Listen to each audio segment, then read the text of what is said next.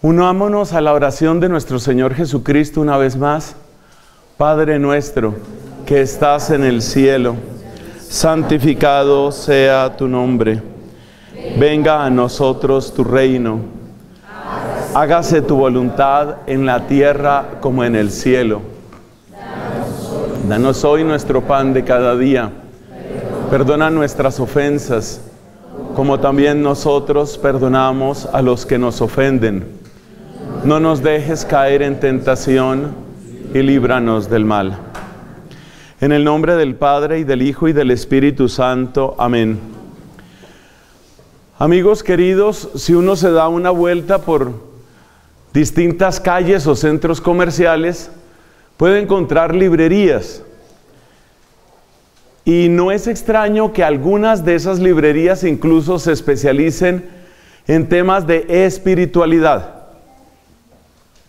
Esas librerías presentan una gran cantidad de material en forma de libros, imágenes, rituales, velas, aromas.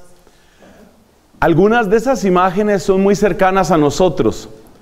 Lo que uno puede encontrar en ese tipo de tiendas muchas veces combina lo más clásico, como por ejemplo una imagen de la medalla milagrosa, o una imagen del Sagrado Corazón con otro tipo de cosas que realmente no tienen nada que ver con nuestra fe, pero que están ahí al lado.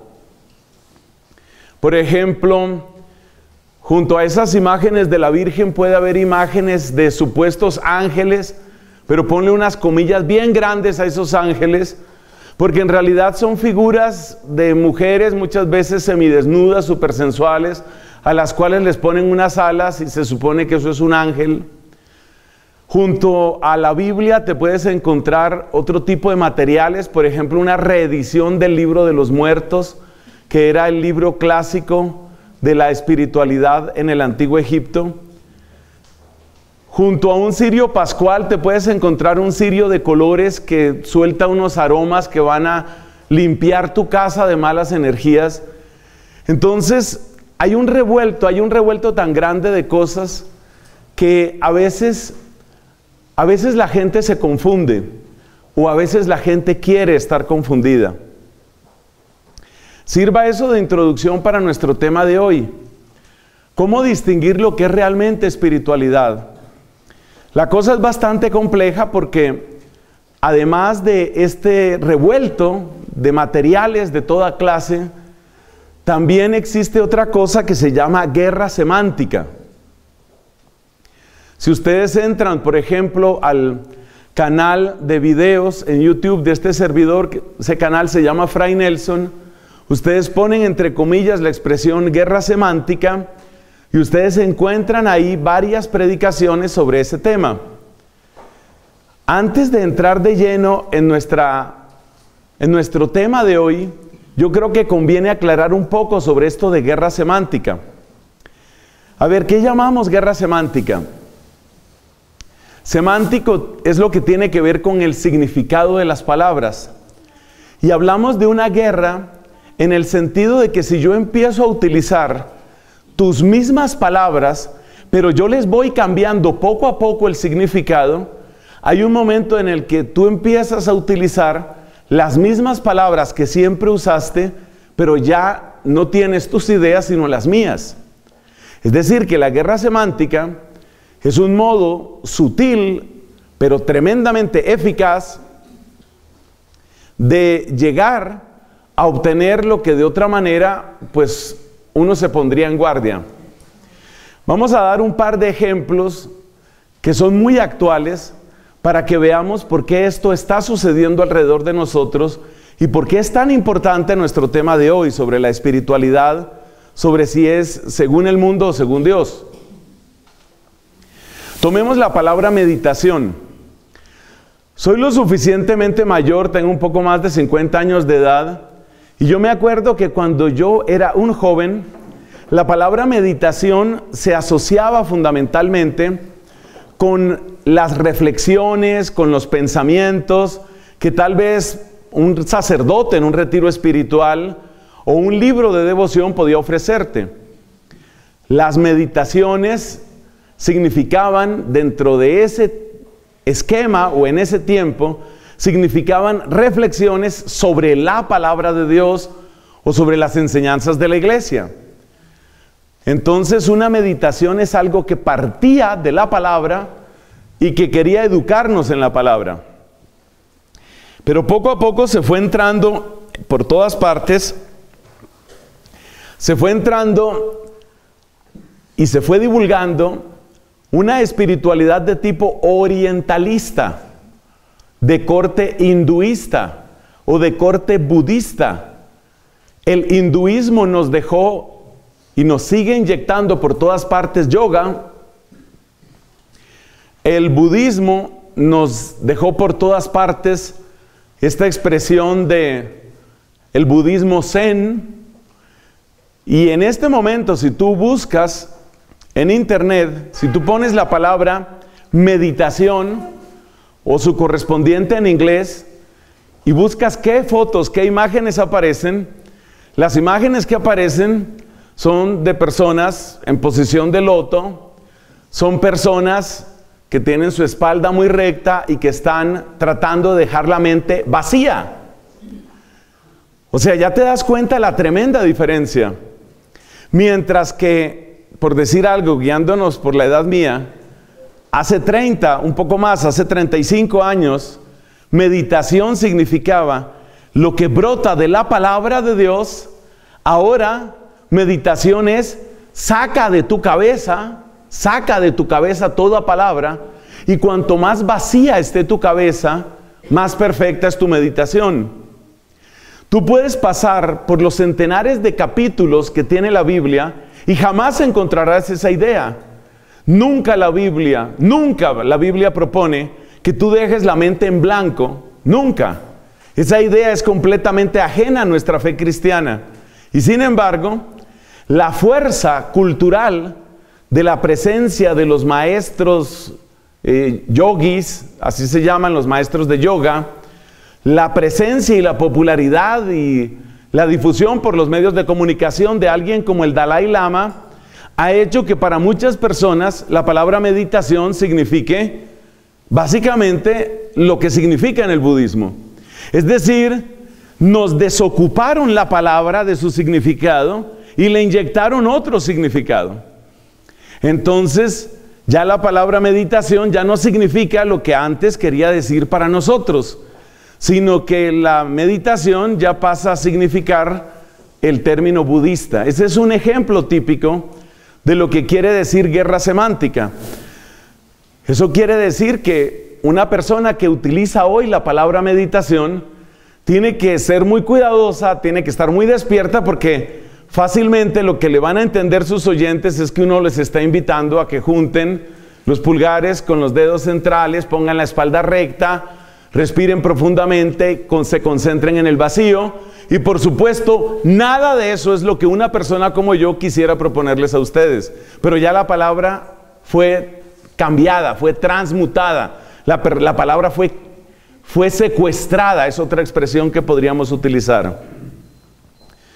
Lo mismo sucede con otras palabras que tienen que ver con la religión o con la espiritualidad. Tomemos, por ejemplo, la palabra iluminación. La palabra iluminación fue utilizada por los cristianos para describir el encuentro maravilloso con el logos, con la palabra divina, con el evangelio. Desde que me encontré con Cristo veo las cosas de otra manera. Es decir, ahora empecé a ver. Yo era ciego y ahora veo la luz. Ahora empecé a ver, ahora me di cuenta, porque he tenido una experiencia de conversión. Entonces, en la antigüedad cristiana, la palabra iluminación estaba completamente ligada a tres cosas, a la predicación, a la conversión y sobre todo al bautismo. Tanto que en algunos textos de antiguos predicadores de la iglesia, los que llamamos padres de la iglesia, cuando se habla de la iluminación sin más, a lo que se refieren es a ese proceso que culmina en el bautismo. Esa es la iluminación. Pero resulta que la palabra iluminación ha cambiado también su significado. Hay autores incluso que se han dejado, se han dejado ganar por esa presión cultural. Y es muy lamentable porque algunas de estas personas son realmente talentosas en su propio campo. Un caso que a mí me duele mucho es el de un sacerdote jesuita ya fallecido llamado Anthony de Melo. Este sacerdote cuyas obras se divulgan no solo en librerías seculares, sino también en librerías católicas, es parte de la confusión el hecho de que esto sucede también en librerías católicas. Anthony de Melo utiliza muchísimo la palabra iluminación, pero la palabra iluminación en el discurso de Anthony de Melo no significa la conversión, no significa el encuentro con Cristo que dijo yo soy la luz del mundo, no significa la recepción provechosa del sacramento del bautismo, no significa nada de eso. Resulta que la iluminación en el caso de Anthony de Melo está ligada más bien como con el descubrimiento de la paradoja de la existencia, lo extraña que es la existencia y lo absurdos que somos los seres humanos en nuestras pretensiones, en nuestras búsquedas. No es que el sentido de Anthony de Melo sea específicamente perverso o demoníaco o algo así, pero es infinitamente pobre, es terriblemente pobre.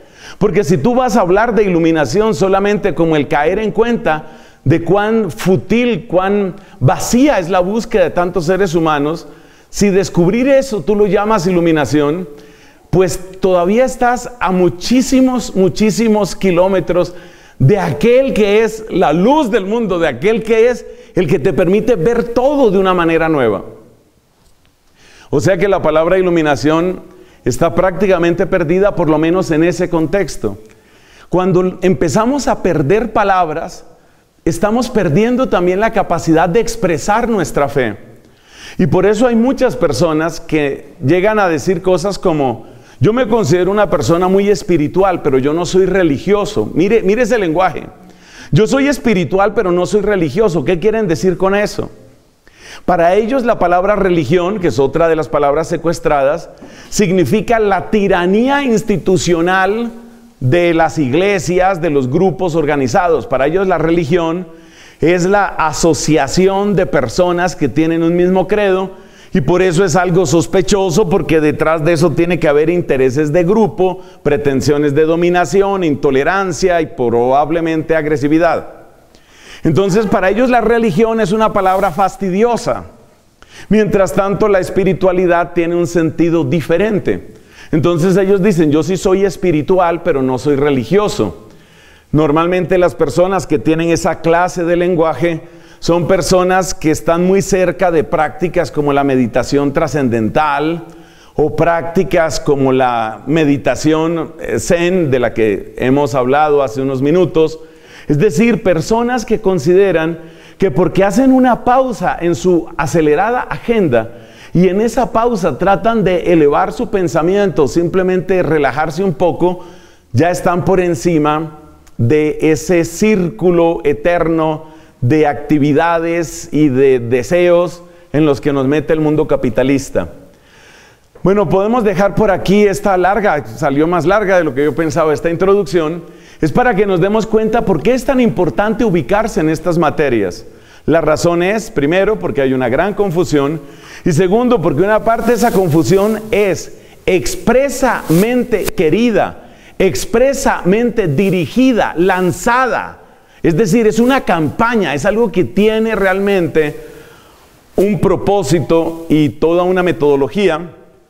Y eso es lo que nosotros llamamos guerra semántica. Bueno, dicho eso, entonces hablemos un poco de qué quiere decir espiritualidad para este tipo de personas. Cuando una persona, quizás en sus 20, en sus 30, cuando una persona de esos años de edad de repente empieza a buscar algo. ¿Qué es lo que busca? Esa es la pregunta que nos vamos a hacer. De manera que para hablar de este tema tenemos que plantearnos cuál es el punto de partida. Lo que vamos a hacer ahora qué es, pues vamos a plantear primero qué significa espiritualidad según el mundo. A eso le dedicaremos unos buenos minutos. Y después hablaremos de qué significa verdadera espiritualidad o lo que llamamos espiritualidad según Dios, y esa será la última parte de nuestra predicación. Espiritualidad según el mundo primero y luego espiritualidad según Dios. Pero en ambos casos vamos a empezar por donde parece que hay que empezar, es decir, por el punto de partida. ¿Cuál es el punto de partida cuando nosotros hablamos de espiritualidad según el mundo? El punto de partida suele ser una sensación de insatisfacción, un agotamiento emocional o mental. Una sensación que puede rayar incluso en el fastidio. Es como un darse cuenta de que las cosas a las que uno les está dando tanto no le están devolviendo tanto. Quienes han venido a otras predicaciones, quienes han asistido a estas asambleas, seguramente ya se han familiarizado con una rueda de la que hemos hablado varias veces. La rueda es producir, consumir y entretenerse. Y definitivamente el mundo de hoy parece que quisiera apresarnos en eso. Pero en otra predicación, en la del tiempo, hablábamos que eso no es solo de ahora. También el faraón en Egipto lo que quería era meter a los hebreos en producir, consumir y entretenerse. Pero es una rueda donde uno se marea, es una rueda donde uno se fastidia. Es una rueda donde si uno tiene una cabeza pensante, tarde o temprano uno empieza a preguntarse cuál es el propósito de todo eso, o si tiene o no tiene propósito. Usted puede llegar a esa clase de inquietudes, usted puede formular ese tipo de preguntas, por ejemplo, cuando usted trabaja en una empresa y usted se da cuenta que realmente se está partiendo la espalda en su trabajo por la empresa, pero luego se da cuenta que todo el dinero que usted produce solo en una mínima parte llega a usted y mientras tanto usted está perdiendo su pareja, usted está perdiendo su familia, usted está perdiendo su salud. Y en ese momento usted se pregunta si realmente es tan valioso ese dinero que a usted le resulta tan caro. Ese es un momento donde una persona siente como una grieta. Y en esa grieta empieza lo que podríamos llamar una búsqueda espiritual. Usted se pregunta, ¿e-, ¿esto realmente qué propósito tiene? A veces esas grietas llegan de una manera violenta. Un modo violento es, por ejemplo, cuando una persona, incluso joven, se encuentra con una enfermedad incurable. A mí me sucedió eso. No en mi propia carne, sino en un compañero de colegio. Yo tenía, como muchos hemos tenido en mis años de secundaria, yo tenía unos compañeros con los que éramos especialmente amigos. Y entre esos amigos estaba un joven del cual tengo los mejores recuerdos de él y de su hermosa familia, tengo bellos recuerdos. Este joven se llamaba Víctor Hugo Aparicio. Y efectivamente debo decir que se llamaba porque a la edad en la que muchos de nosotros apenas empezábamos a considerar seriamente qué íbamos a hacer con la vida, algo así como qué voy a estudiar y ese tipo de cosas, este hombre se encontró con una noticia terrible. Fue la primera vez que yo oí la palabra lupus.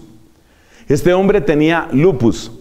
De manera que cuando nosotros llegamos a lo que en ese momento empezó a llamarse grado 11, fuimos de las primeras generaciones en las que ya no se decía sexto de bachillerato, sino grado 11. Por eso téngale miedo a una persona que dice sexto bachillerato. Usted pregúntele a su papá, a su mamá, pregúntele, ¿Cuándo hiciste tu quinto de bachillerato? Si el papá responde afirmativamente, ahí quedó. Ya se sabe más o menos de qué generación es. Bueno, yo fui de las primeras generaciones que tuvimos el famoso grado 11. Cuando llegamos al grado 11, todos sabíamos que nuestro querido compañero de estudio, nuestro buen amigo Víctor Hugo, tenía esa enfermedad. Y efectivamente, unos meses después él murió. Claro, es tan anormal, es tan contrario a las leyes de la vida que una persona tan joven muera que realmente uno queda cuestionado y hasta cierto punto fracturado. Y eso te obliga a pensar, ¿y si fuera yo? ¿Y si yo me muriera?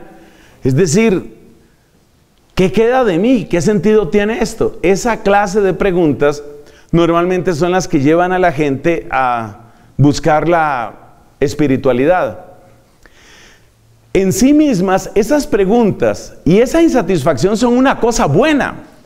Es decir, si tú comparas a los que yo llamo esclavos felices, ¿quiénes son los esclavos felices? Son los que están contentos en la rueda, producir, consumir, entretenerse, producir, consumir, entretenerse. Y con una sonrisa estúpida siguen produciendo, consumiendo y entreteniéndose.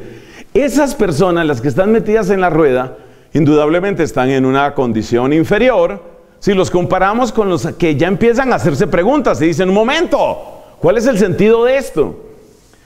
Hay gente a la que estas preguntas le llegan muy pronto en la vida. Curiosamente, cuanto más difícil es una situación vital, más fácil es que la persona llegue a esas preguntas. En este sentido, las personas que pertenecen a un medio social donde todo funciona, donde todos los miman, donde todos los quieren, donde todos se los aprueban, tardan mucho más en madurar mentalmente hasta hacerse este tipo de cuestionamientos. Las personas que pasan por pobreza, por carencia, por enfermedad, se ven como empujados por la vida misma a preguntarse esta clase de cosas. Entonces, el punto de partida es ese. No es un punto de partida malo, ni mucho menos. La persona que busca, mira, la persona busca un sentido, la persona puede buscar, y aquí es donde empiezan los problemas, empieza a buscar una especie de escape. Es decir, el mismo muchacho que se pregunta por el sentido de la vida, puede llevar, puede ser llevado por esa inquietud puede ser llevado a una actitud renovada, seria, sabia, trascendente ante la vida. O puede, por el contrario, tomar una actitud más bien como de escape. Y el escape tiene muchos rostros. El escape son los vicios. El escape también puede ser, por ejemplo, la trivialidad, ese mantenerse en el jajaja, jajaja, jajaja, ja, ja, que está en tantos chats. Ustedes no tienen por ahí entre sus amigos gente que cada tres frases, jajaja, jejeje, jijiji. Cuando llega Navidad, jo, jo, jo, jo. Entonces, estas personas, la trivialidad es una forma de escape. Es decir, es mantenerse como en una superficialidad voluntaria. Algo así como, la vida es complicada, pero mientras tanto si sabes que abrieron otras hamburguesas no sé dónde. La vida es complicada, pero si sabes que tenemos paseo el otro fin de semana. La vida es complicada, pero ya bailaste no sé qué. Entonces la superficialidad voluntaria es una especie de escape en el que la persona tal vez trata de mantenerse. El cinismo también es otra forma de escape. Entonces, lo que quiero decir es que la crisis inicial puede ser buenísima. Pero ninguna crisis por sí misma tiene la fuerza suficiente para llevarte a la sabiduría. Como suelo decir, escriba esa frase que le conviene. Ninguna crisis por sí sola tiene la fuerza para llevarte a una verdadera sabiduría. Indudablemente se necesita más que eso. Sobre todo porque aún en los momentos de dificultad, hay cosas de las que uno no quiere desprenderse. Aún en los momentos de dificultad uno tiene un ego que uno quiere proteger. Aún en los momentos de dificultad uno tiene su propia soberbia, tiene mentiras que le resultan cómodas como cobijas en las cuales uno quiere arroparse. O sea que la crisis por sí sola no necesariamente da fruto.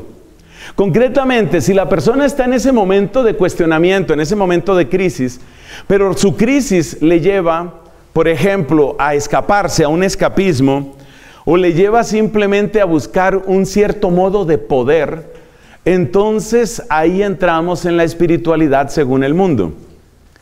Efectivamente, em, hay personas que se preguntan, bueno, ya más o menos he entendido cómo funciona el mundo, me doy cuenta que no es fácil obtener las cosas y quisiera saber si existen atajos, si existen escaleras que me lleven más rápidamente a donde yo quiero llegar. Hace poco, bueno, hace unos meses, unos amigos en Santa Cruz de la Sierra, en Bolivia, me comentaban sobre eso. La historia proviene de un hombre, gracias a Dios, bastante católico, de cerca de unos 30 años de edad o una cosa así, una de estas personas que tiene su hogar y está luchando mucho y está trabajando con muchas ganas, para obtener lo que quiere en la vida. Y resulta que claro, no es fácil, no es fácil balancear tantas cosas, la relación con la esposa, la educación de los hijos, los gastos constantes, cuidar la salud. Y encima de todo eso es muy importante no engordarse, sería terrible engordarse.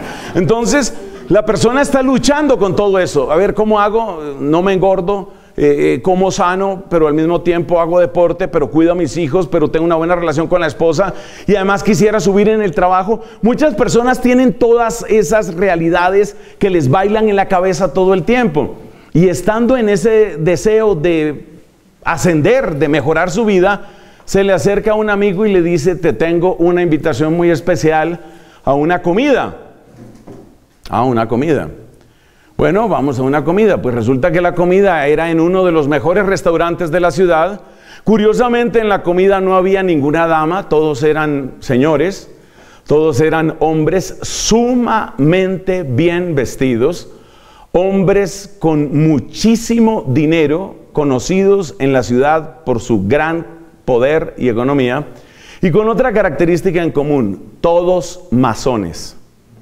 En este momento y desde hace tiempo la masonería está tratando de penetrar pues muchas instituciones y entre otras la capa empresarial, la, zona empresarial en muchos países, también por ejemplo en Bolivia. Sabemos que en Bolivia el departamento que es industrial y el que es el motor en cierto sentido económico de todo el país es Santa Cruz.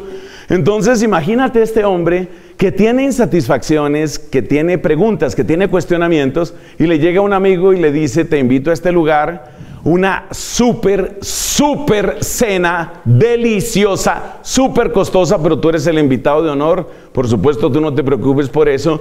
Y lo importante y lo que quería era que conocieras al Señor tal, al Señor tal, al Señor tal y al Señor tal, todos ellos masones. Y por supuesto lo que quieren es reclutar a este hombre en quien ven una gran capacidad de ascenso, una gran ambición en cierto sentido, quieren reclutarlo para ascender. Entonces, ¿qué es lo que estamos diciendo en este momento?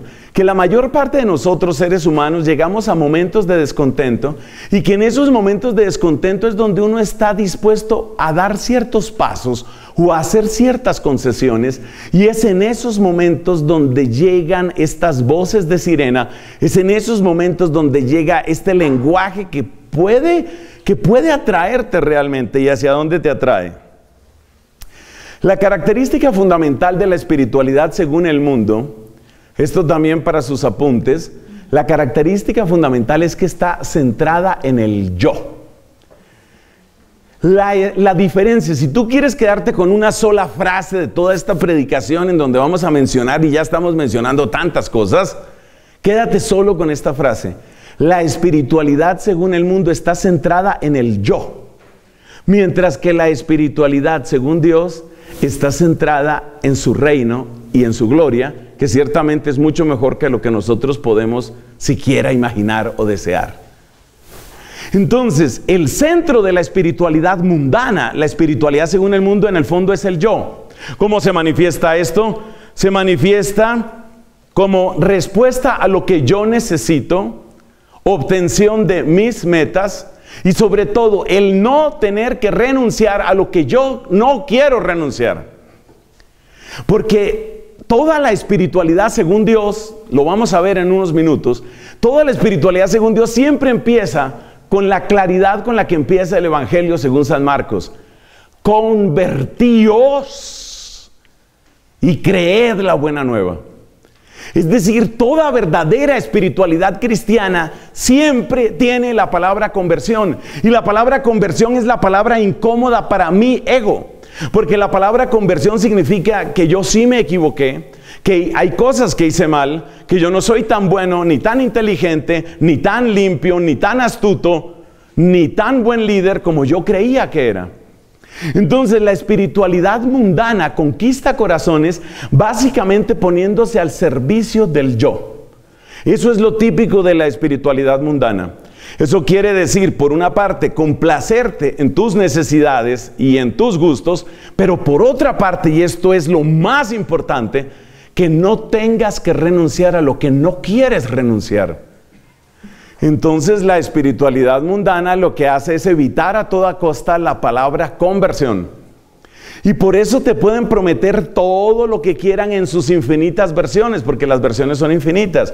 Te pueden prometer experiencias místicas, te pueden prometer éxito en los negocios, te pueden prometer paz en tus ondas cerebrales, te pueden prometer armonía con el universo, te pueden prometer eficacia en el trabajo, recuperación de tu salud. Mira, cualquier cosa te pueden prometer, pero el centro en cualquier caso es el yo. El centro es lo que tú en el fondo quieres y lo que tú no quieres soltar. Esa es la característica fundamental de la espiritualidad mundana. La espiritualidad mundana, por eso, tiene siempre la estructura de un secreto. Ustedes se acuerdan, eso llega por oleadas, ustedes se acuerdan que hace unos pocos años estaba vendiendo mucho precisamente una obra que se llamaba así, El Secreto. Lo típico de la espiritualidad mundana es el uso de lo esotérico, lo arcano. Lo que siempre ha estado oculto, pero ahora yo te lo voy a decir. Lo que el Vaticano no quiere que tú sepas, pero yo sí te lo voy a contar. Nadie lo ha dicho porque no les conviene, pero yo sí te lo voy a decir. Ese es el estilo de la espiritualidad mundana. ¿Por qué es con natural a la espiritualidad mundana el secreto? Porque el secreto se supone que es la ventaja que tú vas a tener. Evidentemente, si hay un secreto para tener éxito en la vida, y los dos lo sabemos, pues los dos seguimos compitiendo. Pero si hay un secreto para triunfar en la vida y ese secreto yo lo sé y tú no lo sabes, ahora yo tengo ventaja. Por eso toda espiritualidad mundana funciona en, la lógica de qué? Aquí tengo una pequeña lista.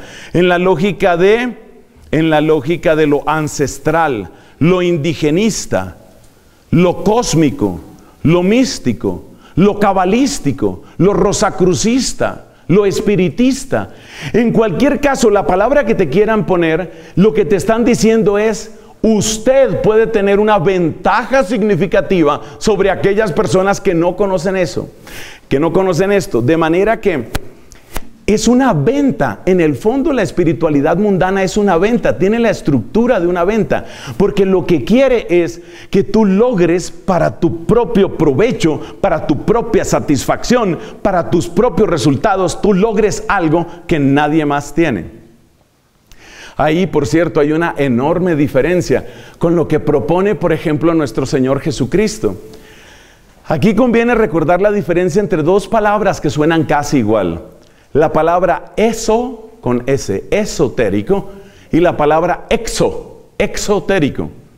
Lo esotérico es aquello que se supone que debe quedar guardado como un secreto. Y el esoterismo es la actitud filosófica o religiosa de aquellos que comparten un mismo secreto. Usted lo sabe, yo lo sé, nadie más lo sabe. Usted y yo tenemos ventaja sobre todos los demás.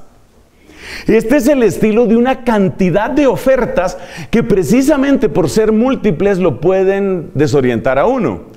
Pero detrás de todos esos disfraces está exactamente la misma bestia.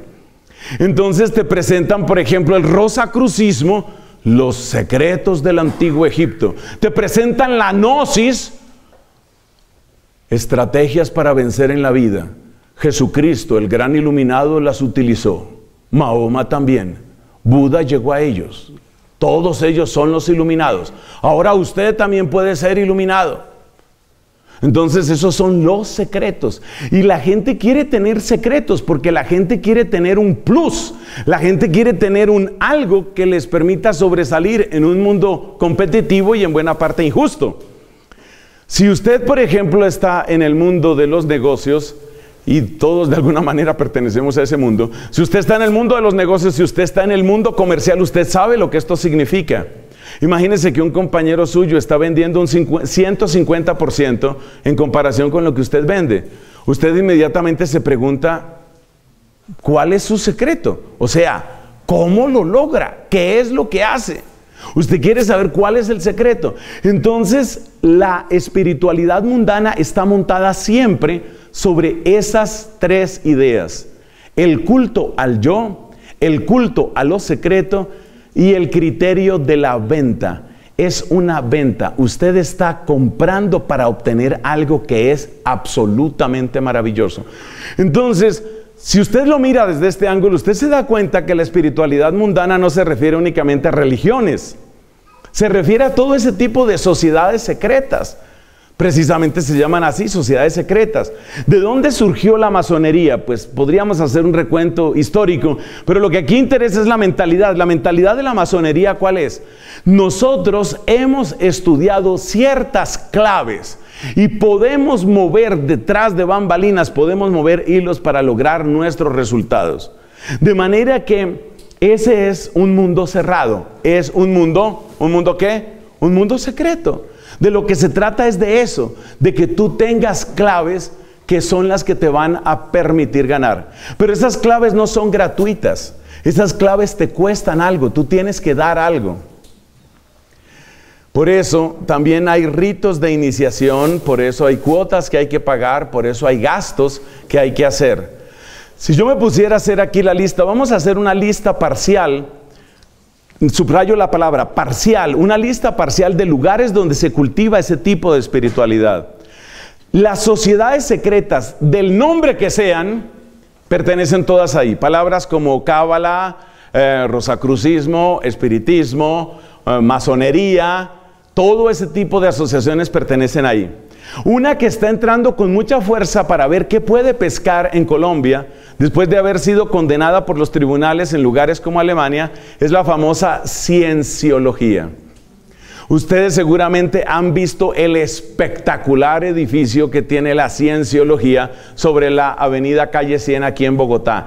Ellos siempre llegan pisando fuerte. Ellos siempre llegan con grandes salas de exposición. Ellos siempre llegan con ese criterio de que, mire, usted quiere seguir en su vida mediocre, ganando una tercera o una quinta parte de lo que usted sabe que se merece, usted quiere seguir siendo despreciado y quiere seguir siendo de los menos, o usted quiere descubrir una o dos cosas que le pueden servir muchísimo. Entonces la cienciología tiene también esa estructura. La nueva era, en todas sus expresiones, tiene la estructura de este tipo de espiritualidad mundana. Efectivamente, de lo que se trata en la nueva era es de eso. De lo que se trata es de que usted adquiere un plus. La extraordinaria difusión del yoga tiene exactamente esa misma estructura en nuestro mundo. De lo que se trata una vez más es de usted va a tener todas estas ventajas, usted va a lograr todo esto y por supuesto eso significa mucho.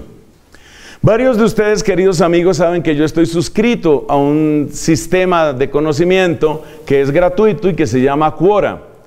La inmensa mayoría de las opiniones que aparecen en Quora son distintas y a veces con frecuencia opuestas a nuestra iglesia católica. Yo no recomiendo ese lugar, ese servicio de internet que se llama Quora, no lo recomiendo para formarse como cristiano católico, claro que no. Casi todo lo que sale de Dios es en contra de Dios, en contra de la iglesia. Yo lo utilizo como lugar de entrenamiento. Para mí es un gimnasio. Es un gimnasio porque todo el tiempo estoy viendo ataques, pero también se pueden aprender cosas útiles, especialmente en lo que tiene que ver con las fronteras de la ciencia. Hay gente que es realmente muy buena para dar explicaciones en Quora. ¿Por qué mencioné aquí Quora? Porque una de las secciones que tiene Quora se parece a un servicio como el famoso Reddit que varios de ustedes también conocen. Una de, las em, áreas o uno de los departamentos dentro de Quora es lo que ellos llaman filosofía de la vida cotidiana. Y entonces en esa sección de filosofía aparece con alguna frecuencia esta pregunta. ¿Cuáles son las 10 cosas más importantes que yo debo practicar para tener éxito? ¿Qué cinco consejos le daría usted a su hijo? ¿Qué le hubiera gustado saber a los 20 años y usted ahora tiene 40 o 50? Todos son consejos de vida. Yo miro muchos de esos consejos de vida porque muchas veces esos consejos de vida son evangelios, entre comillas evangelios, evangelios paralelos a lo que yo mismo como testigo de Jesucristo quiero predicar. Es decir, eso se llama conocer la competencia. Entonces yo quiero conocer la competencia. Y me llama la atención como en mucho más de la mitad de esas secciones donde se dan consejos de vida, ellos dicen, lo mejor que usted puede hacer, el mejor consejo que le puede dar es practique meditación, practique meditación, practique meditación. Es decir, la meditación y los que te dan ese consejo luego explican por qué. La meditación cambió mi vida, la meditación hizo mi mente clara, eh, la meditación hizo que nunca más me volviera a pinchar, la meditación, bueno, eh, hace maravillas, la meditación es una cosa, me bajó los impuestos, hizo de todo la meditación. ¿Eso qué significa? Eso significa una ventaja, eso significa un secreto. Aquí te comparto un secreto. Entonces, resumiendo, la espiritualidad mundana, ¿qué es? Es una respuesta que se pretende dar a la sensación de fastidio o de límite que muchas veces tenemos frente a nuestra vida. Porque todos pasamos por sensaciones de límite frente a nuestra vida. Porque todos alguna vez sentimos, oiga, la vida debería ser más que esto que yo estoy viviendo. O sea, una persona, por ejemplo, una persona casada, una persona casada dice, bueno, sí, o sea, ya sé lo que es tener un esposo, tener una esposa. Ya sé, el cuento de la sexualidad ya me lo sé, el cuento de tener un hijo ya sé, el cuento de, comprar tecnología ya lo sé, el cuento de ir de vacaciones ya lo sé. Pero esta vida, no sé, no le encuentro sabor, no le encuentro sentido. Entonces la espiritualidad mundana es un tipo de respuesta a esa necesidad, pero es una respuesta que acaricia tu yo. Es una respuesta que por eso resulta tan engañosa, porque acaricia tu yo y a base de secretos te mantiene en esa búsqueda de lo trascendente, pero únicamente quedándote en lo puramente finito, en lo puramente creado. La espiritualidad así entendida tiene, o sea, la espiritualidad mundana tiene dos características con las que vamos a terminar esta sección y nos vamos a la espiritualidad según la revelación bíblica y según nuestro Señor Jesucristo. Como esta espiritualidad tiene una estructura de escape y de abstracción, muchas, muchas veces esta espiritualidad se presenta como contraria a la materia. En el fondo tiene una guerra contra la materia. No es una guerra abierta usualmente, no se toleraría, no sería bien aceptada si fuera así, pero es una guerra contra la materia, por ejemplo, por desprecio al cuerpo. Es absolutamente escandaloso el número de católicos que no le ven ningún problema a creer en la resurrección y creer en la reencarnación. Lunes, miércoles y viernes resucitaré, martes, jueves y sábado reencarnaré. No tienen ningún problema, es decir, eso no le hace ningún problema. Es decir, con cara gano, con sello no pierdo, con resurrección gano, con reencarnación. Esto, ¿cómo es? Se devuelve el odómetro a cero, de manera que, de todas maneras, me sirve. Esa manera de pensar, esa manera de pensar, ¿qué está demostrando? La gente no se da cuenta de que la reencarnación es un desprecio al cuerpo. Porque ¿qué significa la reencarnación? Significa que mi verdadero yo no es mi cuerpo, que mi cuerpo no es mi yo. Es decir, que el cuerpo es como ropa que yo me quito y me pongo otra ropa. Ropa de sapos si me porté mal, ropa de príncipe si me porté bien. Esa es la lógica de la reencarnación. Entonces, la reencarnación supone odio al cuerpo. Este dato es importante. Todas las doctrinas gnósticas pasan por el desprecio al cuerpo. Desprecio que en ciertas circunstancias significa predicar la reencarnación, desprecio que en otras circunstancias significa un ascetismo absurdo, Desprecio que en otras circunstancias significa que al cuerpo se le puede dar lo que pida porque eso no importa. Es como un niño caprichoso y lo que pida el niño, ¿qué importa lo que pida el niño? Entonces las doctrinas de tipo gnóstico, las doctrinas de esta espiritualidad mundana, siempre tienen un desprecio hacia lo corporal y un desprecio hacia lo material. Muy por el contrario, la espiritualidad cristiana sabe que el cuerpo es precioso. Y porque sabe que el cuerpo es precioso, se atreve a decir cosas como que tu cuerpo es templo. Y como que tu cuerpo no, es un juguete. Y como que tu cuerpo no puede ser vendido. Y como que tu cuerpo no está para arriendo ni para uso simplemente. Y sobre todo, la frase más anti-gnóstica de todo el credo es, creemos en la resurrección de la carne. Entonces, el, estilo gnóstico, el estilo nueva era, la espiritualidad mundana, todo eso hay que saber conectarlo, siempre implica un tipo de desprecio al cuerpo. Para nosotros el sacramento por excelencia es el sacramento del cuerpo. Y lo que queremos, lo que siempre ha pedido la iglesia, más allá de las confusiones actuales, lo que siempre ha pedido es que nuestra realidad corporal esté tan pura como sea posible para recibir al que es puro.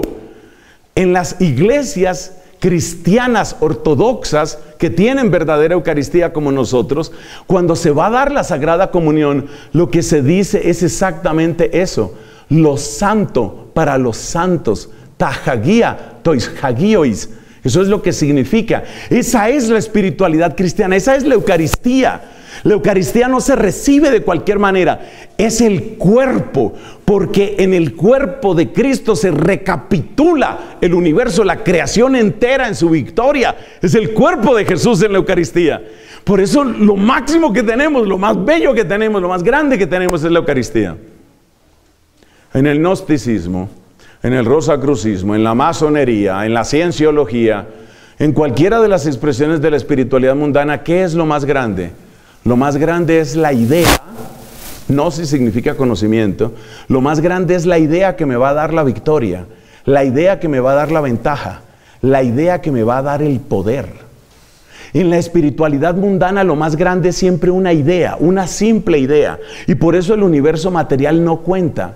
Mientras que para nosotros los dos misterios excelsos son la encarnación, caijologo sarxegéneto.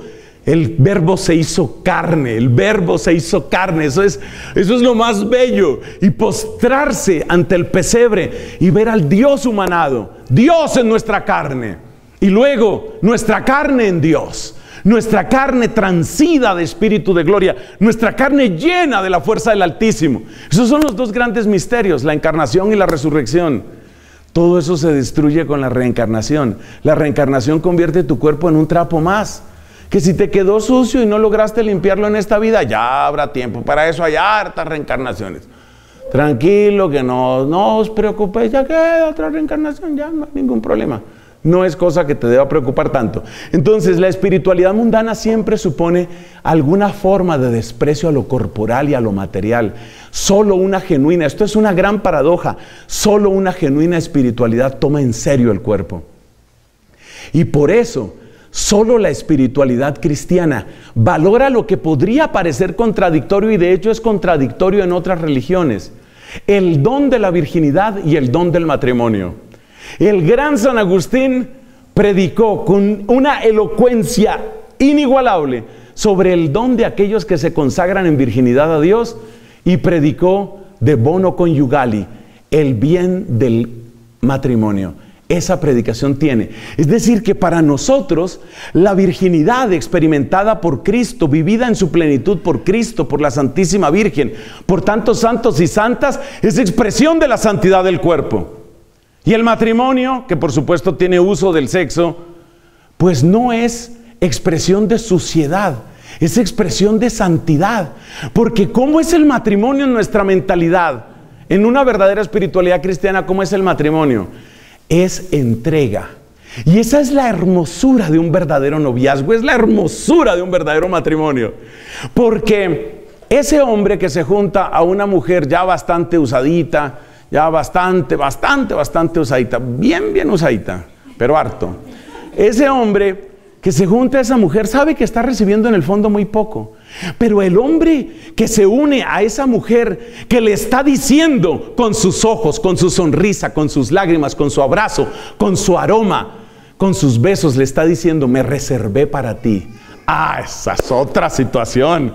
Esa sí es la mujer. Esa sí es. Eso es recibir el tesoro. Atención, señoras y señores, con ustedes, el tesoro. El tesoro es eso. Es la maravilla del hombre que se entrega así. Por eso, una cultura abusiva de la mujer, absolutamente explotadora de la mujer, le exigía virginidad a la mujer, mientras que el hombre sí tenía que tener todo tipo de experiencias. Esa no es la espiritualidad cristiana. La espiritualidad cristiana es santidad para el cuerpo de ella, por supuesto, pero santidad para el cuerpo de él también. Y esa es la unión de la cual dice la carta a los hebreos, que no haya mancha ni pecado en el lecho nupcial. Porque el lecho nupcial es comparado a un altar. Oiga eso, el lecho nupcial lo compara la carta a los hebreos a un altar. ¿Y por qué es un altar? Porque resulta que ese hombre enamorado, feliz, que se siente amado, ese hombre está recibiendo a esa mujer que sabe, esta no es cualquiera. Esta es una joya preciosa. Qué hermosura la que está aquí en mi cama. Y eso es lo que ella siente de él. Entonces, en esa mutua entrega, ¿qué es lo que hay? Hay verdaderamente una ofrenda. Cada uno se está ofreciendo al otro. ¿Y eso qué significa? Como decía hermosamente una señora, de las buenas predicadoras que yo he conocido, una señora que predicaba en los encuentros de promoción juvenil. Esta señora, qué buen recuerdo, repito, tengo de ella. Pues claro, todo lo que es trabajar con jóvenes siempre salen preguntas incómodas, ¿no? Y en algún momento alguien habló de si en el matrimonio, de que cómo era eso de perder la virginidad en el matrimonio. Y esta mujer que me parece de las señoras lindas, de esas que tienen su cabeza iluminada verdaderamente por Jesucristo, ella con una serenidad y con una sabiduría dijo, es que yo nunca perdí mi virginidad. Todo el mundo abre los ojos porque, claro, se sabía que tenía hijos y de todo, ¿no? Y ella dice, no, yo nunca perdí mi virginidad, yo no la perdí, yo la entregué, yo la doné a mi esposo porque era el hombre que se la merecía. Uy, gran silencio. Después del silencio, aplausos en la sala para esa señora. Eso es lo que significa el cuerpo en la espiritualidad cristiana. La espiritualidad mundana no sabe de eso, porque la espiritualidad mundana en el fondo, ¿qué es lo que quiere? Que tú tengas mucha inteligencia, que en el fondo no es inteligencia, porque si fuera inteligencia te llevaría a la sabiduría. En el fondo es mucha astucia. La espiritualidad mundana no te quiere inteligente, te quiere astuto. Y la astucia es a ver cómo hago caer a este, a ver cómo hago caer a esta, a ver cómo me aprovecho, a ver cómo me aprovecho de este o de esta. No, ese no es. La espiritualidad mundana supone también en el fondo una guerra contra la racionalidad, lo cual es una gran contradicción, porque si uno piensa en la gnosis, por ejemplo, uno se supone que está hablando de conocimiento. Pero es que el primero que es profanado y prostituido en la espiritualidad mundana es el conocimiento. Sí es conocimiento, pero conocimiento prostituido, conocimiento profanado. Porque el verdadero sentido del conocimiento, como hermosamente nos dice el Papa Benedicto XVI en algunos de sus escritos, el verdadero sentido de todo conocimiento es acercarnos al logos divino. Todo verdadero conocimiento es un arroyo que si te dejas llevar con humildad, y con inteligencia te lleva al océano de Dios. Entonces, como la gnosis, como la espiritualidad mundana, en el fondo pertenece a lo que dice la carta de Santiago, es decir, no es verdadera sabiduría, sino es astucia. Por favor, distinguir entre la palabra sabiduría y la palabra astucia. Distinguir cuidadosamente entre ser inteligente y ser astuto son dos cosas muy diferentes. Entonces, como la verdadera sabiduría lleva a Dios y como la astucia no quiere que tú llegues a Dios, entonces es una perversión de la inteligencia. No es verdadera inteligencia y por eso no es compatible con el logos. Por eso muchas veces dentro de la espiritualidad mundana aparecen rituales en los cuales se rompe toda lógica y toda posibilidad de racionalidad. ¿Cómo se realiza eso, por ejemplo, en el satanismo o en la masonería? Según buenos informes que he podido leer, por supuesto no tengo constancia directa, pero según buenos informes también en la masonería se utilizan los sacrificios humanos. Los sacrificios humanos, ¿por qué son importantes en la masonería o en el satanismo? ¿Por qué son importantes? Porque matar a una persona inocente es algo que de tal manera descoyunta, de tal manera revienta tu capacidad de lógica, que tu razón ya no funciona igual después de cometer esa clase de crímenes. Entonces, ya se trate de sacrificios humanos, ya se trate de prácticas irracionales. Piense usted, por ejemplo, cómo se dan las prácticas irracionales en la nueva era. Usted puede utilizar instrumentos científicos para medir la intensidad del campo magnético que tiene el planeta Tierra y usted puede saber cuál es la influencia que ese campo magnético pudiera tener en seres vivos como somos nosotros. Es decir, eso científicamente está bien estudiado. Pero llega un experto de Feng Shui y le dice a usted que tiene que acomodar la cama a tantos ángulos para que el campo magnético que pase ahí le mejore el colon. Claro, es una cosa que produce risa. Pero eso es lo que estoy diciendo precisamente, que la espiritualidad mundana rompe con el logos, rompe con la sabiduría, rompe con la inteligencia, porque en el fondo lo que interesa es qué? Lo que interesa es la astucia. Astucia en primer lugar del que te vende unas velas carísimas, del que te vende unos servicios carísimos, porque de eso es de lo que se trata.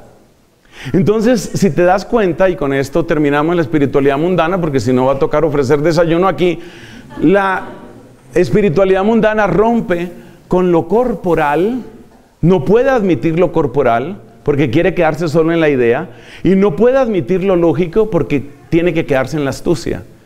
Oye esas dos frases. La espiritualidad mundana rompe con lo corporal porque tiene que privilegiar la idea, es decir, la astucia.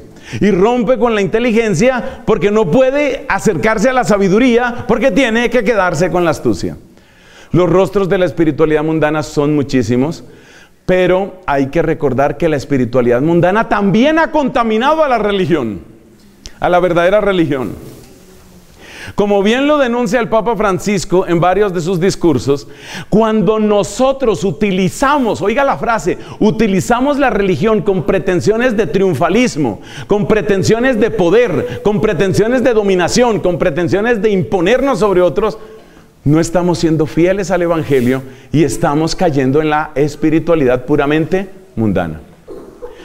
Bueno, a la luz de todas estas aclaraciones se supone que el camino debe estar bastante despejado para hablar de la espiritualidad verdadera, la espiritualidad que nos muestra la Escritura. ¿Cuál es el punto de partida? Cuando nosotros hablamos cuando nosotros hablamos de espiritualidad según Dios, ¿cuál es el verdadero punto de partida? Se parece al punto de partida de la espiritualidad mundana porque somos los mismos seres humanos en todas partes. Pero hay tres capítulos de la Biblia que le pueden resultar especialmente útiles para descubrir cuáles son eh, estos orígenes o estas raíces de la espiritualidad según Dios. Esos tres textos son Ezequiel capítulo 36. Joel capítulo 3 y Romanos capítulo 7. Repito, Ezequiel, profeta Ezequiel capítulo 36. Joel capítulo 3 y Romanos capítulo 7, especialmente la última sección de Romanos 7. En la última sección de Romanos 7, lo que muestra el apóstol San Pablo, autor de esa carta a los romanos, lo que muestra es el drama que vive una persona cuando quiere hacer el bien, pero al mismo tiempo se encuentra limitado por su propia incapacidad, por, por el peso de su propia concupiscencia, por el peso de sus malos hábitos y por supuesto también por la influencia de tantas, tantos malos ejemplos y tantas fuerzas negativas, incluyendo la, la fuerza negativa del demonio. Entonces, Romanos capítulo 7 nos presenta ese, e, ese ataque verdaderamente, es decir, esa dificultad que uno encuentra. Entonces, la, la verdadera espiritualidad, ¿de qué nace? De una doble conciencia, mis queridos hermanos. De la conciencia de que yo estoy hecho para más y de la conciencia de que yo no alcanzo. Es decir, es un reconocimiento humilde, sincero, de la propia impotencia sin negar la grandeza del don al que he sido llamado. La espiritualidad verdadera, la espiritualidad según Dios, nace de ese doble descubrimiento. El descubrimiento de que hay una grandeza para la que he sido llamado. El pueblo de Israel recibió la revelación de esa grandeza especialmente a través de la ley de Moisés, porque la ley de Moisés le reveló la dignidad al pueblo de Israel y le reveló la grandeza de los designios divinos. Entonces yo estoy llamado para lo grande, estoy llamado para lo bello, estoy llamado para lo santo, pero al mismo tiempo no puedo, no puedo, me, me gana la pereza, me gana la mentira, el hábito de la mentira me gana, me gana mi concupiscencia, me ganan, me ganan mis malas costumbres, me ganan mis malas amistades, me ganan mis deseos ocultos, o yo no sé qué es lo que ¿Cuál es la ley? La, llama a San Pablo la ley que hay en mis miembros, la ley que parece haber en mi cuerpo. Yo quiero, pero no logro, quiero, pero no alcanzo. En ese momento, descubro, fíjate que se parece mucho a lo de la espiritualidad mundana, en ese momento descubro, realmente necesito una ayuda. Esa ayuda aparece descrita, por ejemplo, en el Salmo 51. Dios, crea en mí un corazón puro. Con este corazón no voy a poder, no voy a poder con este corazón. Ese corazón puro lo anuncia efectivamente Dios a través del profeta Ezequiel en el capítulo que ya he mencionado. El capítulo 36 de Ezequiel habla de eso exactamente. Os daré un corazón nuevo y os infundiré un espíritu nuevo y haré que caminéis según mis preceptos. Es decir, el sufrimiento que le lleva a uno a suplicar con toda la fuerza, ven, ven, ven Espíritu Santo, es el sufrimiento de descubrir la distancia que hay entre ese bien que yo sé que es mi verdadero bien y este mal en el que yo vivo. Cada persona puede definir esa distancia de un modo distinto porque tenemos historias distintas. Para una persona, por ejemplo, el gran sufrimiento puede ser, yo soy una mentira con patas. Yo realmente soy un hipócrita. Aprendí a mentir demasiado. Otra persona en el fondo siente que le ganan sus malos pensamientos, su lujuria, su pornografía, su suciedad, su obscenidad y se siente llamado a lo mejor, pero se siente esclavizado, amarrado, como detenido por dentro. Y vive ese drama. Otra persona, por ejemplo, se da cuenta de cuántas cosas ha perdido por su pereza. O sea, toma cada uno de los siete pecados capitales, lo que ha perdido por su pereza, lo que ha perdido por su codicia. Esa persona que, por ejemplo, se volvió ambiciosa, profesionalmente ambiciosa y ahora quiero ser el gerente regional y después el gerente nacional y después voy a ser gerente en Latinoamérica y después dominaré el mundo. Y la persona cree que va a dominar el mundo y resulta que no domina ni a la esposa ni a los hijos, lo abandonan, lo dejan solo, el tipo se alcoholiza y él se da cuenta, he convertido mi vida en un basurero. La persona se da cuenta de lo mal que ha vivido. Es decir, esa persona está experimentando la distancia, está experimentando el drama. Entonces, en resumen, ¿de dónde viene? ¿De dónde viene esta necesidad profunda del espíritu? Viene de lo que se llama la percepción de la distancia. Yo debería, yo quisiera. No es debería porque alguien me lo dijo. No es debería porque lo predicó un cura. No es debería porque lo leí en una Biblia. Es debería porque yo lo siento dentro de mí, porque yo sé que en el fondo yo quisiera eso. Pero me ganó, me ganó, me ganó la soberbia. ¿Cuánta gente, Dios mío, he visto llorar yo? Padre, se acabó mi matrimonio. Se acabó, se acabó. Pero con un llanto desconsolado. Y le pregunto, ¿y qué es lo que más te duele? Y, responde que se hubiera podido separar, que se hubiera podido solucionar, digo, que se hubiera podido solucionar. Pero, pero el orgullo, el orgullo no me dejó. Yo dije, no me dejo y no me dejo. Y ella dijo, no me dejo. Y entre el no me dejo de ella y el no me dejo mío hicimos un abismo y después no supimos cómo cruzarlo. Entonces la soberbia nos destruyó, la soberbia nos acabó. Entonces la persona se da cuenta de esa distancia, ahí es donde viene la verdadera espiritualidad. O sea que la verdadera espiritualidad cristiana siempre nace de una súplica ardiente.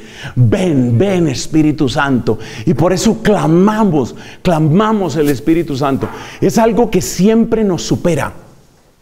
Es algo que siempre está más allá de nosotros. Es la razón por la que el apóstol San Pablo dice en el capítulo octavo de la carta a los romanos, no sabemos orar. No sabemos orar. ¿Cómo dice San Pablo eso que sabía tantas oraciones y que había dicho cosas tan absolutamente sublimes? ¿Por qué él dice que no sabemos orar? Una de las explicaciones de esa frase es, es que es tan grande, pero tan grande lo que Dios quiere de nosotros es tan bello lo que Dios hubiera podido hacer conmigo. El llanto más dolido de mi querida amiga de Siena, Santa Catalina, era ese. Todos sabemos lo grande que Dios hizo con ella, pero Dios una vez le reveló lo que hubiera podido hacer en ella y con ella si ella no hubiera cometido ningún pecado. Los que la conocieron siempre dijeron que nunca cometió pecado mortal. Todos los sacerdotes que la trataron dijeron, no tenemos noticia de que haya cometido un solo pecado mortal, ni uno solo. Pero a pesar de eso, Dios le reveló en una oración todo lo que además hubiera podido hacer, pero tus pecados lo arruinaron, Catalina. Y entra esta mujer a llorar con ese dolor. Y yo creo que ese tiene que ser el llanto nuestro. Cuando uno se da cuenta de, que realmente el enemigo es el pecado. El enemigo no es la política ni los políticos. El enemigo no son ni los ricos ni los pobres. El enemigo no está afuera. El enemigo es uno mismo con su mediocridad, con su pecado. Pero, pero me queda grande. Ese es el resumen, me queda grande. No puedo, no lo logro. De esa conciencia brota la súplica ardiente. De esa conciencia brota ese ardor, ese fervor, esa profundidad. Y cuando la persona empieza a clamar y a suplicar y a rogar ese don del Espíritu, el corazón de piedra finalmente se parte. ¿Qué es lo que ayuda a que termine de romperse el corazón de piedra? Lo que en otras predicaciones hemos llamado el misil de amor. El misil de amor es la cruz de Cristo. Porque frente al absurdo de un hombre que huye de Dios, tenemos a un Dios que persigue al hombre. Frente al absurdo de un hombre que hiere a Dios, tenemos a un Dios que desde esas heridas deja fluir los ríos de su bondad.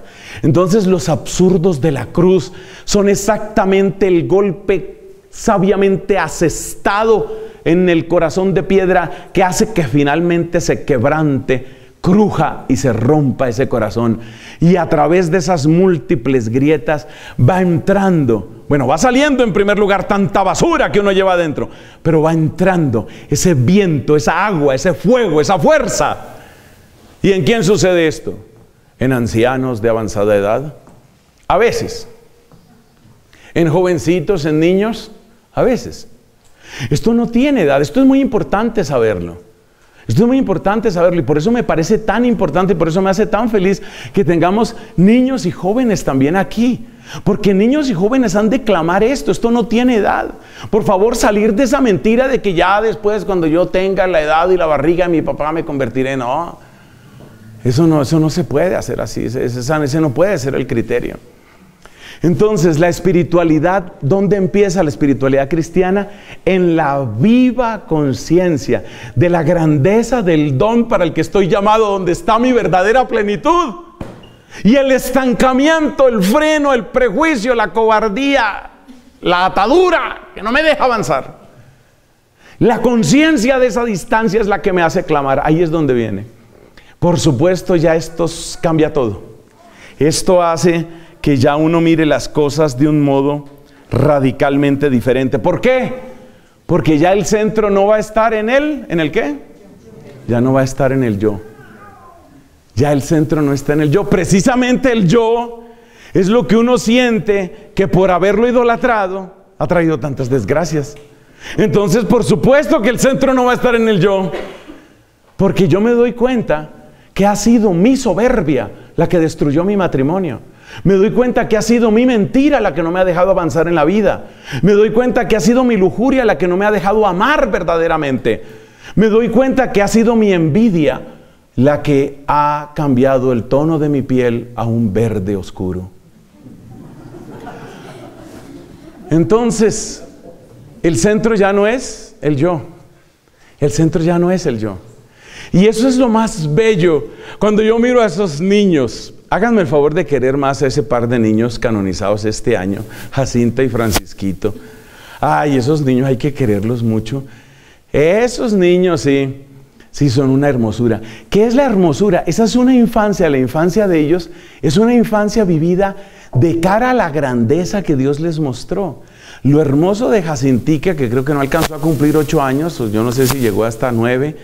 Lo hermoso de Jacinta, Jacinta Marto, lo hermoso de esta chiquita es que ella, la bendita Jacinta, no estaba centrada en ella misma, sino que ella se dio cuenta que lo mejor que le podía suceder es que Dios reinara.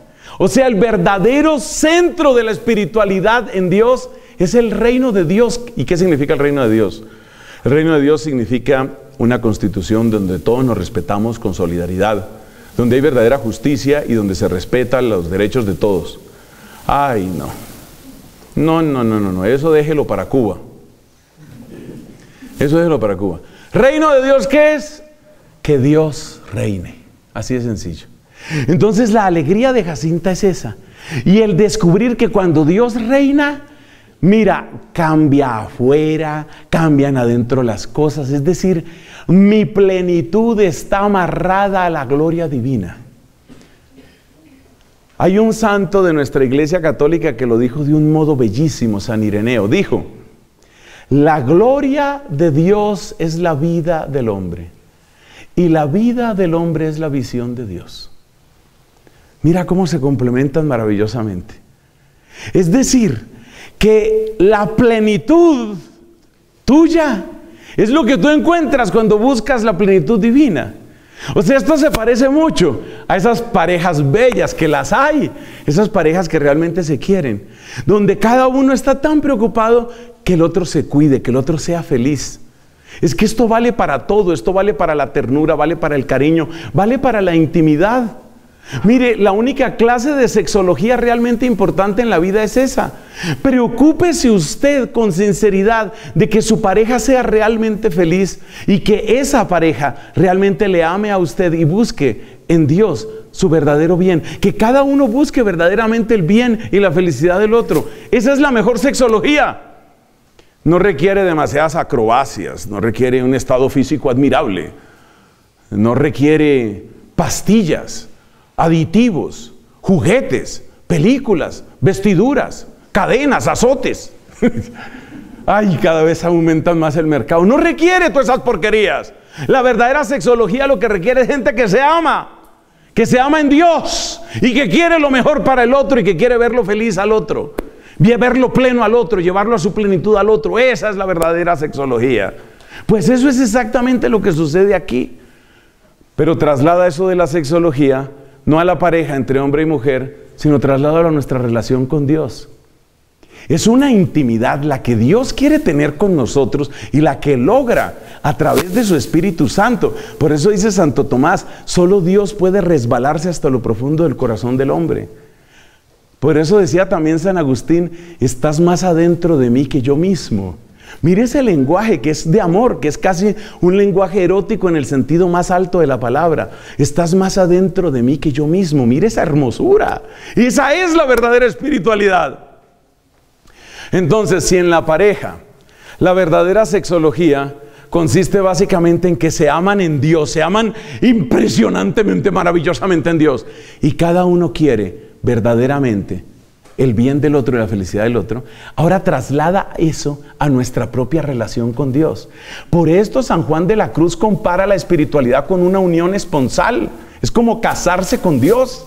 Y por eso San Juan de la Cruz y otros místicos, incluido nuestra doctora de Siena, han visto que cuando uno entra en esa verdadera espiritualidad, uno como un enamorado o como una enamorada, uno lo que quiere es que todo le salga bien a Dios, que Dios sea glorificado. ¿Y Dios qué quiere? Que tú seas feliz y que llegues a tu plenitud. Entonces la verdadera espiritualidad es esponsal, es como un matrimonio con Dios, es una cosa hermosísima en donde tú buscas hacer feliz a Dios. Eso toca así un poquito entre comillas. Hacer feliz a Dios que es que Dios reine, que mi Dios sea conocido, que sea obedecido, que sea proclamado, que sea celebrado en todas partes. Ese es tu tributo de amor para el Altísimo. Y el Altísimo se vuelca hacia ti. Oye, esta frase tan hermosa que dice nuestro Señor Jesucristo llegando hacia el final de su vida. Padre, mire esta relación de amor. Padre, glorifica a tu Hijo para que tu Hijo te glorifique. ¿Se da cuenta la circularidad que hay ahí? Esa es la hermosura de la verdadera espiritualidad. Entonces el centro no está en el yo. Como el centro no está en el yo, la lógica que se instaura no es la lógica de la venta. Acuérdate que los de la cienciología quieren comprarte y quieren utilizarte. Y la masonería quiere comprarte y quiere utilizarte.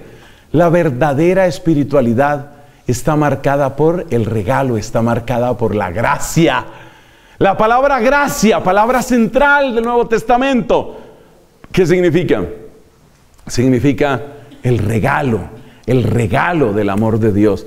Entonces la espiritualidad está marcada por el regalo. Y como yo lo he recibido de regalo, se cumple lo que dice Cristo. Lo que ustedes recibieron de regalo, denlo de regalo. Gratis recibisteis, dadlo gratis. Por eso el esoterismo es absolutamente contrario a la fe cristiana. Eso de que yo tengo un secreto. Y si usted me compra mi librito, usted también sabrá el secreto. Y usted, cómprame también el librito. Y usted, cómprame el librito. ¿Y el librito cuál era? Escriba un librito. ese, era, ese era todo el secreto. Secreto para volverse rico. Ese es un librito. ¿Y qué dice el librito? Haga usted su librito. Entonces, por eso el esoterismo, por eso la espiritualidad mundana siempre resbala al negocio, siempre. Y por eso cuando nuestra religión cae en el negocio, se degenera, se deprava. Eso es lo que le duele tanto, eso es lo que denuncia de tantas maneras el Papa Francisco. Y en eso no podemos sino estar muy de acuerdo con él, porque es una perversión de la religión. Entonces, ¿cuál es el verdadero sentido?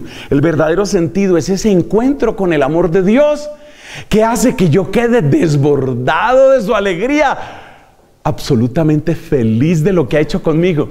Y desde ese gozo de lo que he recibido del Señor, desde eso que yo he recibido de Él, pues yo obro como la persona enamorada. Pregúntale a una muchacha a la que por fin la volteó a mirar el que ella quería que lo volteara a mirar. Claro, únicamente le preguntó, si tenemos clase hoy? Pero, pero bueno, pero la volteó a mirar, ¿sí? Ella recuerda ese movimiento como en cámara lenta, cómo se fue volteando. Si tenemos clase hoy. Bueno, pregúntale a esa muchacha que se sintió mirada, que se sintió amada. Ella no necesita que nadie le diga, ella misma va, le cuenta a los amigos, pero sobre todo a las amigas. Eso organiza un grupo de WhatsApp con 900 personas para decir que no creo que no se puede organizar 900 personas para decirle a todo el mundo, mire, me aman. Me dijo que sí, me dijo que sí, que sí me amaba. Es más, que me amaba harto, mucho. O sea, eso se le volvió la gran noticia. Esa es la espiritualidad nuestra, es la espiritualidad de la gracia. No es negocio, no es secreto, no es venta, no es privilegio, es regalo, es regalo del amor de Dios. Regalo del amor de Dios. Bueno, ¿y de eso tan bueno sí dan tanto? Claro, pero fíjate que hay una condición inicial. ¿De dónde dijimos que surgía todo? Surgía de que la persona ve la diferencia. O sea que evidentemente la persona tiene que entrar en arrepentimiento. Entonces por eso las múltiples formas de, espiritualidad mundana lo que quieren es quitarte el arrepentimiento. Estás en adulterio, pero eso no importa mucho. Eso no importa mucho. Rompiste la comunión con la iglesia, pero eso no es tan grave. Eso realmente no es tan grave. No te preocupes mucho por eso. Tú perteneces supuestamente a otra religión, pero eso tampoco es tan grave. Realmente eso no tiene... Mire, quitarle el arrepentimiento, el arrepentimiento sincero, profundo, tan profundo como sea posible. Quitarle el arrepentimiento a nuestra fe es quitar la puerta verdadera de toda espiritualidad. Por eso desconfíen ustedes, y el que tenga oídos para oír que oiga, desconfíen ustedes de todo predicador que sabiendo usted que usted está en pecado, le quiere negar el pecado que usted tiene. Se lo digo porque hay gente que me ha contado que les ha sucedido. Gente que va a confesarse con el padrecito y el padrecito le dice, no, no se preocupe, eso no es pecado. Ustedes no caigan en esa trampa. Respeten siempre al sacerdote, pero si usted sabe que lo que usted le está diciendo al sacerdote es pecado, por más que sea un pecado cómodo para usted, por más que sea un pecado que usted siente que le gana, por más que usted se, por más que sea un pecado que está de moda y todo el mundo lo practica y hasta tiene su propio lobby, por más de que sea un pecado popular, con moda, con lobby, con propaganda, con representantes en el Senado, con lo que sea, por más de que suceda lo que suceda, si usted sabe que está en pecado, si usted realmente tiene esa conciencia y usted va a confesarse y por desgracia se encuentra con un sacerdote que pretende decirle que eso no es pecado, la manera como usted debe actuar es la siguiente, dígale, Padre, en mi conciencia creo que sí, solamente le suplico porque es lo que usted me puede dar, concédame la absolución por el pecado como esté en la presencia de Dios. No discutan con los sacerdotes, no desprecien a los sacerdotes, no lo hagan. Pero si usted tiene conciencia de que lo suyo es pecado, no permita que una mala enseñanza destruya la pureza de su conciencia. Esto es muy importante en los tiempos en los que estamos viviendo. Porque así fue como empezó el protestantismo y por ahí fue como siguió el anglicanismo también. Entonces, por eso, ¿cómo prospera una secta protestante? No preguntándole a la gente por su vida privada. Así es fácil, así cualquiera. Con harto diezmo y sin preguntar. Yo también. Yo también hago, organizo así mi grupito y... No, Dios me libre, Dios me libre. Entonces, mire, realmente lo de las sectas protestantes funciona así, es así de sencillo. Así de sencillo. Entonces la pregunta que no aparece es ¿con quién llegaste? No, simplemente él llegó con ella y ella llegó con él, no hay ningún problema. Llegó él, llegó ella, ¿cuál es el problema? Y sobre todo, ella diezma, él diezma. Entonces, quiere decir que hay acuerdo en el diezmo, ¿sí? Si hay, si hay acuerdo en el diezmo, pues ya eso es respetable, es un acuerdo. Es un principio de acuerdo que el Señor indudablemente bendice con una gran prosperidad porque hay el secreto del diezmo. Cuidado, ¿no? Cuidado que hay gente que está predicando eso. El secreto del diezmo y el secreto de sembrar para luego cosechar y el secreto. Y eso es, es pura espiritualidad mundana. Cuidado con eso. Bueno, resumiendo, como ustedes se dan cuenta, la idea central es muy sencilla. La espiritualidad mundana en el fondo es una caricia al propio yo para que uno no se convierta y para que uno crea que, crea que tiene ventajas. E-, esa es la espiritualidad mundana. Y la espiritualidad cristiana real que es. La verdadera espiritualidad cristiana es una experiencia transformante de amor que viene de Dios y que me hace ver la distancia que me separa de Él, que es la misma distancia que Él recorrió hasta mí, dándome a su divino Hijo, dándome al Espíritu Santo. Y eso es lo que me transforma, eso es lo que me renueva. Mientras que en la espiritualidad mundana todo funciona desde la astucia, que es la falsa sabiduría de la que habla la carta de Santiago, en la espiritualidad cristiana, en la espiritualidad verdadera, todo funciona desde la verdadera sabiduría, en la cual no hay secretos, en la cual hay que gritar a los cuatro vientos que hemos sido amados, que hemos sido renovados que hemos sido conquistados, seducidos por el amor. Demos gracias al Señor por esta hermosura y pidámosle entonces que, que nos mantenga en las sendas de qué? En las sendas del arrepentimiento, en las sendas de la conversión, en las sendas de la humildad y en las sendas de la proclamación de su divino nombre. Gloria al Padre, al Hijo y al Espíritu Santo